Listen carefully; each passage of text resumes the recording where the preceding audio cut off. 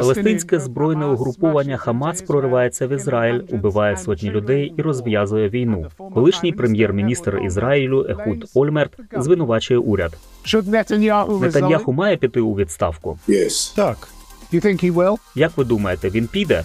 Йому доведеться. Пріоритет нині врятувати заручників, яких захопив Хамас. Поки Ізраїль намагається гарантувати безпеку своїх кордонів, постає питання: чи можуть ізраїльтяни довіряти своїй розвідці та армії?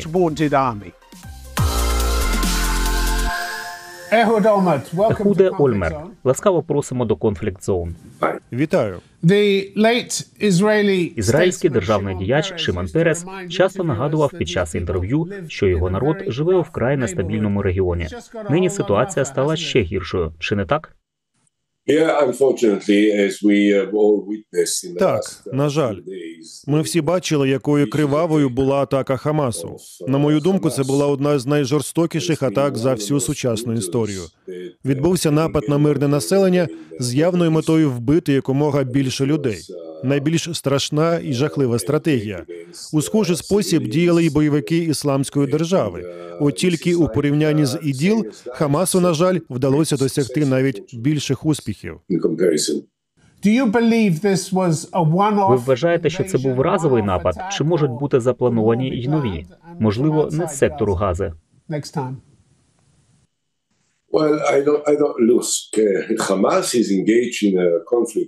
Не варто забувати, що Хамас перебуває в постійному протистоянні з Ізраїлем з моменту свого створення, більш як чверть століття. І вони не мають наміру заключати мир з Ізраїлем. Вони не хочуть визнавати Ізраїль. Вони не мають жодних конкретних територіальних претензій до Ізраїлю, як, наприклад, інші палестинці на західному березі річки Йордан. Вони просто хочуть знищити державу Ізраїль. state. На мою думку, цілком очевидно, що надихає їх та керує ними Іран. Вони ніби рука Ірану, що сягає далеко за його межі. Іран має довгі руки на півдні Ізраїлю, це Хамас, і на півночі це Хезбола. Їхні атаки є частиною комплексного плану Ірану, спрямованого на те, щоб зруйнувати баланс на всьому близькому сході і спробувати похитнути основи держави Ізраїль.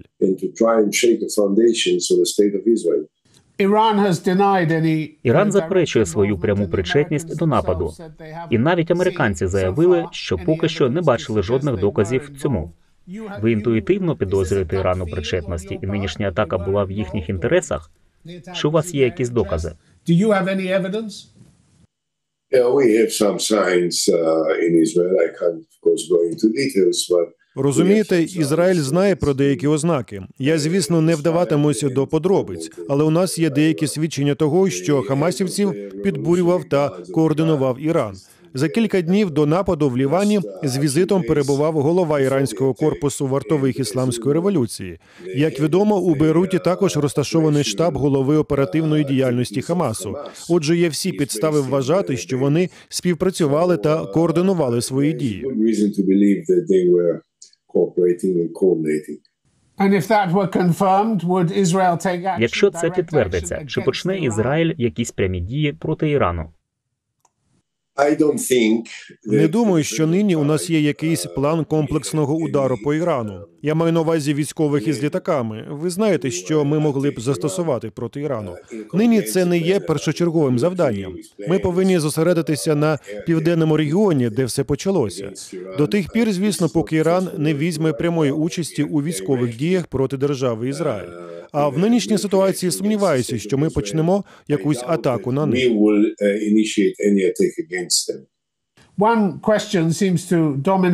Одне питання, схоже, домінує нині. Що робити з десятками ізраїльських заручників, яких захопило палестинське угруповання Хамас? Як ви вважаєте, як уряд вирішуватиме цю проблему?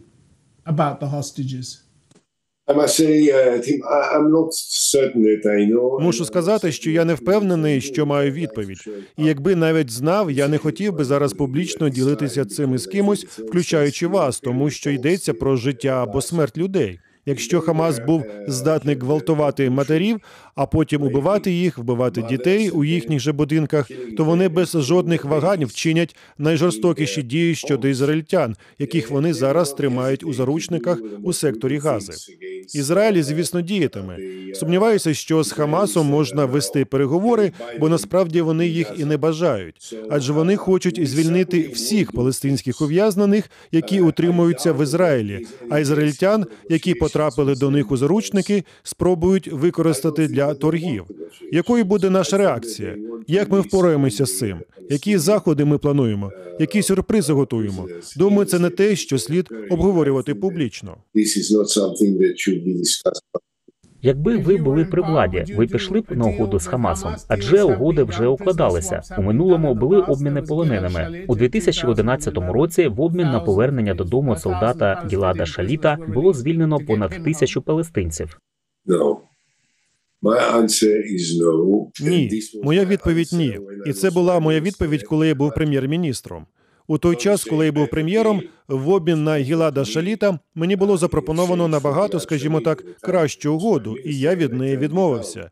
Я вважав, що укладати її не варто, що вона цього не варта. І до речі, треба пам'ятати, я не впевнений, що ви в курсі.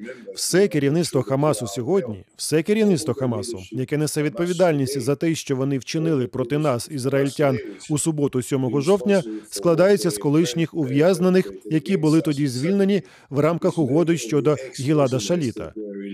Виходить, що коли ця угода була укладена, відбувся обмін понад тисячі екстремістів на одного солдата. Я вважаю, що в довгостроковій перспективі результати цієї угоди стали справді руйнівними для Ізраїлю. І ми повинні бути вкрай обережними щодо форматів, в яких укладаються подібні угоди.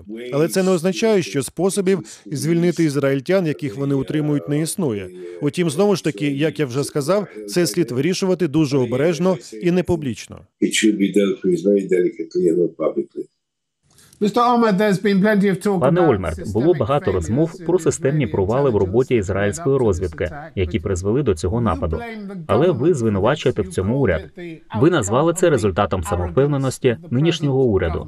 Самовпевненості щодо чого? Well, I'll tell you two things, if I may. Number one, Якщо дозволите, я скажу вам дві речі. Перше, гадаю, що було б помилкою вважати, що ізраїльська розвідка зазнала цілковитої поразки. Так можна вважати, але це буде помилкою. Зовсім ні. Ми все бачили. Ми спостерігали за всіма приготуваннями, і все це збіглося один в один з тим, що ми моніторили, помічали і аналізували протягом тривалого часу. Проблема полягає в тому, що ми самі себе ввели в оману, що вони цього не зроблять через те, що ви процитували, через самовпевненість і зарозумілість. Хто вони такі? Хамас? Ці терористичні організації? Вони не армія, вони ні на що не здатні. Вони нас не надто турбують. Вони не підуть на це, адже ми сильні і могутні. Ми можемо зупинити їх усіх. Насправді, за кілька днів до свята Сукот, яке було в суботу, 7 жовтня, так співпало. Того дня ми вивели кілька військових підрозділів з позиції на кордоні з сектором Гази для захисту наших поселенців на західному березі річки Йордан. Це було відображення тієї байдужості, самовдоволення та зарозумілості, які, як на мене, характеризують дії нинішнього ізраїльського керівництва у зв'язку з цими подіями. Саме тому я покладаю провину на ізраїльське керівництво. Справа ще й у тому, що протягом певного часу, протягом багатьох років, Нетаньяху явно вважав за краще мати справу з Хамасом, щоб не мати справи з палестинською національною адміністрацією. Чому? Тому що він не хотів вести мирні переговори з палестинською національною автономією і тому доклав усіх зусиль для того, щоб налагодити певний контакт з Хамасом. Ми знаємо, що Хамас протягом багатьох років фінансувався з відома Ізраїлю сотнями мільйонів доларів, які надходили з Катару за сприяння держави Ізраїль, за повної поінформованості про це та підтримки з боку ізраїльського уряду на чолі з Беняміном Нетаньяху. Нетаньяху, прийшовши до влади у 2009 році, заявив, що головним його обов'язком та пріоритетом є знищення Хамасу. Але протягом усього періоду його прем'єрства він докладав усіх можливих зусиль для того, щоб цього не робити, а навпаки, сприяв зміцненню Хамасу. І певною мірою розширення та зміцнення Хамасу це теж результат політики Нетаньяху. Пане Ольмерт, Ізраїль може увійти до Гази з метою викоренити Хамас та знищити якнайбільше його бойовиків. Але до чого це призведе? Адже Ізраїлю не вдасться провести цю операцію без втрат, чи не так? Я думаю, що, по-перше, Хамас це ворог, і з ним треба боротися. Як це зробити? Намагатися здійснити вторгнення за допомогою наземних сил, як ми це робили в минулому? Не знаю. Я не хочу вступати в такі дискусії. Можу лише сказати, що це довга історія. Вона вимагатиме часу. Вона вимагає дуже ретельного планування та дуже продуманих дій. І зробити це потрібно таким чином, щоб отримати практичні результати, які будуть корисними для безпеки південної частини держави Ізраїль, і водночас не відштовхнути від Ізраїлю міжнародне співтовариство, яке нині дуже прихильно налаштоване щодо Ізраїлю. Боюся, що якщо ці удари, яких завдає Цахал останніми днями, продовжуватимуться, і дедалі більше будівель у газі руйнуватимуться, дим і вогонь транслюватимуться на всіх телеканалах щодня по всьому світу, то скоро емоції, співчуття, які зараз відчуваються у всьому світі щодо Ізраїлю, зміняться. А ми потребуємо такої підтримки, щоб мати змогу досягти реалізації стратегічних інтересів нашої країни. That we want to achieve. ООН, міжнародне співтовариство вже висловило занепокоєння щодо тотальної блокади сектору Гази, перекриття доступу до електрики, води, продовольства. А ви пішли б на такий крок? I don't want to say what I would have done. I said before. I Не хочу говорити про те, що я зробив би. Я вже казав, що можу лише говорити про те, чого б я не зробив. Але скажу вам таке: гуманітарний тиск може бути й розумним засобом. Його можна застосувати для того, щоб провести межу між цивільним населенням, яке не залучено до діяльності бойовиків, і власне терористичними організаціями. Але одна з проблем, з якою ми стикаємося в цьому контексті, відносна гнучкість і свобода, якою користується Хамас у Газі. Бо цивільне населення, яке навіть не обов'язково залучене до терористичної діяльності, надає йому підтримку. Як це розділити? Це питання. Чи можна це зробити в такий спосіб? Я недостатньо залучений до ухвалення рішень в уряді, щоб відповісти на це питання, але не виключаю цього. Чи має Нетаньяху піти у відставку? Так, Як ви думаєте, він піде? він буде змушений. Це займе якийсь час, звісно. Знаєте, що для такого роду реакції у суспільстві зазвичай треба набрати певний імпульс, перш ніж вони зможуть проявити себе, і тоді їх уже не зупинити. Нетаняху це вже минуле. З ним покінчено. Він ще деякий час буде прем'єр-міністром, але він уже не жилець в політиці, і на те є вагомі причини. Whatever Hamas has done this time, it's it's very different in scale. Те, що вчинив Хамас за масштабами, відрізняється від того, що терористи робили раніше. Як ви вважаєте, чому вони розпочали таке вторгнення і чому саме зараз? Існує дуже поширена думка, що тим самим вони хотіли зірвати мирну угоду між Ізраїлем та Саудівською Аравією, яка посилила б ізоляцію палестинців. Як ви гадаєте, це могло стати причиною того, що відбулося?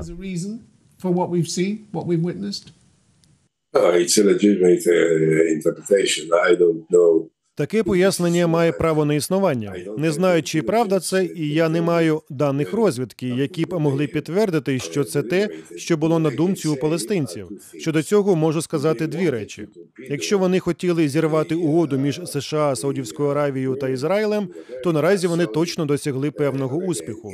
Складно судити про долю цієї угоди, але я не думаю, що вони це зробили, бо вважали, що палестинці залишаться осторонь цієї угоди. Можливо, навпаки, вони побоювалися, що внаслідок цієї угоди може виникнути основа, яка змусить ізраїльський уряд вести переговори з палестинською національною автономією. А Хамас переговорів не хоче. Ви маєте зрозуміти, найлютішим ворогом Хамасу є потенційний мир між Ізраїлем і палестинцями. Отже, якщо угода Саудівської Аравії, США та Ізраїлю якимось чином підвищувала шанси на деякі контакти між ізраїльським урядом та палестинською національною автономією, між Нетаньяху та Махмудом Абасом, то це й становило для них головну загрозу. Це те, що вони хотіли зруйнувати, тому що їх не хвилює, що палестинці залишаться осторонь. Навпаки, вони хочуть, щоб палестинці залишилися осторонь, бо саме це й робить Хамас привабливим для палестинського населення. You've always. Ви завжди підтримували ідею двох держав, але не змогли її реалізувати, коли були прем'єр-міністром. Хоча цього тижня ви сказали, що вже давно уклали б мир з Махмудом Аббасом. Чи не думаєте ви, що про концепцію двох держав можна забути?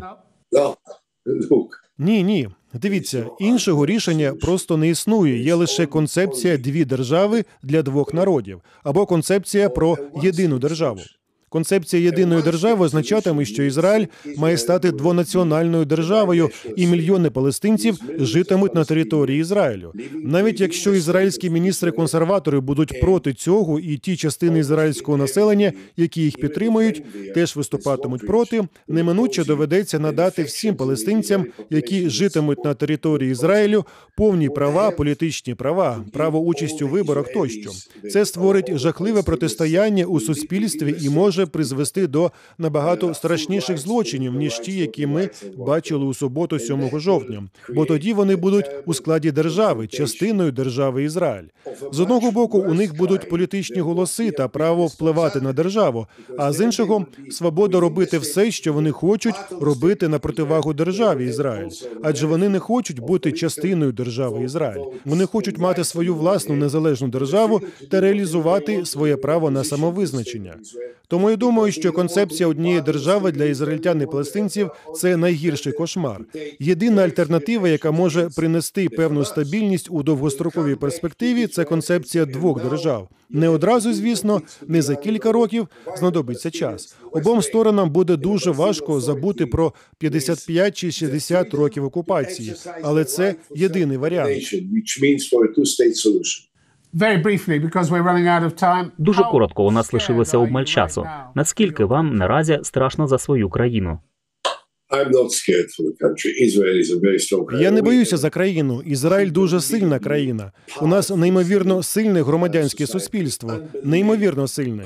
І я абсолютно вірю в силу, рішучість, ентузіазм та відданість, які виявляють у ці дні усі верстви населення. Я боюсь ізраїльського уряду, боюся цієї групи головорізів, жорстоких ультраортодоксальних бандитів, яких очолює безрозсудна, безвідповідальна людина Нетаньяху, який керує державою Ізраїль. Ми повинні позбутися їх, і ми повинні позбутися Хамасу. Спочатку Хамас, а потім ми повинні будемо навести лад у державі Ізраїль. Ольмер, щиро дякую за участь у програмі Конфлікт Зон. Дякую.